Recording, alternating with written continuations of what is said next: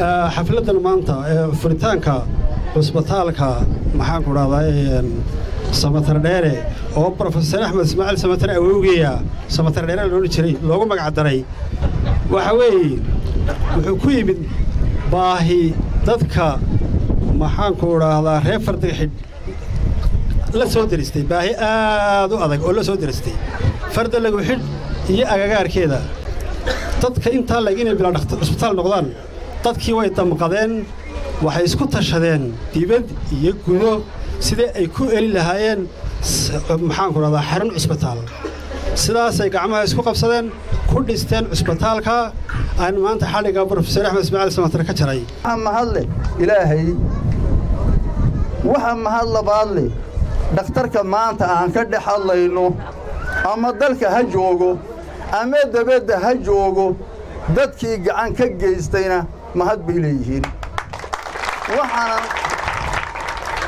Waxaanan leenahay abaalkaa waanu haynaa haddaan nahay reer farda lagu xidh. Qurbajoogta kolley m c s kan dadka qurbajoogta ee deegaanka u dhashay ayaa gacan ka geysta uu horseed ka ahaa axmed ismaaciil samatan iyo suldaanka guud ee qurbajoogta iyaka aad iyo aad ayaan ugu mahad celinaynaa soo dhowaaday kolley meeshiinnii ayaa timaateen waxna waa ku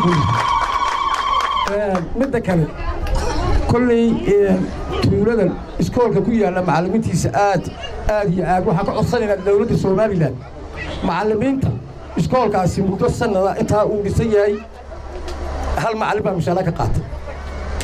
Wax gumaysanna ma hal malanayaa inuu yahay hal macallin xagga dawladda iyo laba waxay tahay ma garanayna dawladda somalilan waxaan ka codsanaynaa in ay magaalada afrida lagu xidh wixii ay u qaban karto ee laga qabto gobollada kale ee bari iyo wixii ka shisheeyaba ay dawladdu ay ku garab joogto in wax loogu soo daro reer farda lagu xidh. Qurbajoog iyo qolqoljoog inay isku tashadeen waan arkaynaa dhakhtarkay dhisteenna inay dawladdu wixii ka dhinnaa u soo qabatay u soo biirisa weeyaan. Waxa kaloo weeyaan oon inii sheegaynaa tolkayo. Halkan dhakhtarka samatar maxamed faarax loo bixiyey samatar dheere ku magac dheeraa brofesor axmed ismaaciil samatar awowyadii maxaan ku idhi awowgii ahaa magacaadla loo bixiyo waa magac sharaf weyn. Waa magac adduunyada laga yaqaano. Sidaa darteed dee inuuna dhakhtarkuna ka muuqdo adduunyada. Iyo loo baahayo awal boorama dadka la jiifinaye la jiifiyo. Ood maxaan ku idhi quwaddaa saarsiin baa loo baahan yahay. Brofeser axmed ismaaciil samatar oo dhaqan u leh inuu soo maro deegaan walba hadday bari tahay iyo hadday galbeed tahay. Wakhtiyadii au dhulkan marayeyna dadka deegaanka ku dhiirigeliyey inay wax qabsadaan. Magaalo walbuu marayana sidaa ugu dhiirigeliya oo ficil sameeyey waxyaalihii u sheegayey iyo wixii au maad aragtay au ku dhiirigelinayey ficil sameeyey oo maanta soo saaray. Dhakhtarka intaa la-eg oo isaguna au ka caawiyey iyo maaragtay cawaalo shirwac iyo qurbajoogta iyo qolqoljoogta jabuuti iyo mataqaanaa somalilan ku nool. Dhammaantood waxaan u mahad celinayaa intii hawshaa ka soo wada qayb gashay waxaan leeyahay aad iyo aad baad u mahadsantihiin maanta in dhakhtarkii la helay waad ku mahadsantihiin oo dadka deegaanku ay soo saaray.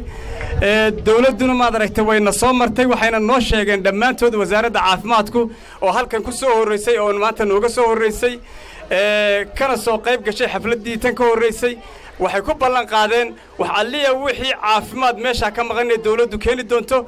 Dawladda dhammaanteed iyo madaxweynaha jamhuuriyadda somalilan madaxweyne ku-xigeenka wax ka qaban doona hawshaaba waan ugu mahadnaqaynaa. Halkan ka sheego qofka laga yaabo inuu yahay mas'uulka ugu weyn ee suurtogeliyey in cusbitaalkan la dhiso.